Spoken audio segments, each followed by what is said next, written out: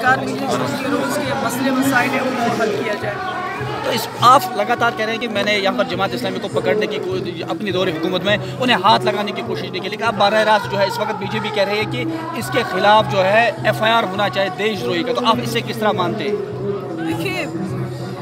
میرا یہ ماننا ہے کہ جموں کشمیر کا جو مسئلہ ہے یہ خیالات کی جنگ ہے اس کو ڈائلاگ کے ذریعے حل کرنا ہے۔ اور اس میں تمام جماعتیں چاہے سپریٹسٹ ہیں چاہے دوسری جماعتیں ہیں ان کو جیل ڈالنے میں سے مسئلہ حل نہیں ہو سکتا اور جہاں تک بی جے پی کا سوال ہے وہ میرے خلاف ایف آئی آر درج کر سکتے ہیں مجھے جیل میں ڈال سکتے ہیں مگر جو خیال ہے جس کی وجہ سے جموں کشمیر اتنے سالوں سے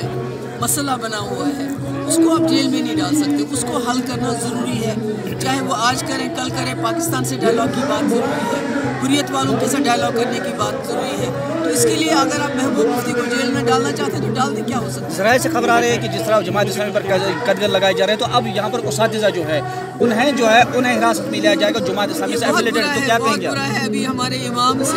اہل حدیث کے لوگ ہیں جماعت کے لوگ ہیں اور اب میں نے سنا ٹیچرز کے ساتھ بھی اس قسم کا کوئی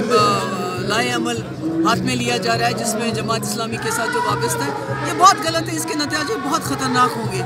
یہ آنے والے وقت میں اس کا جو خمیازہ ہے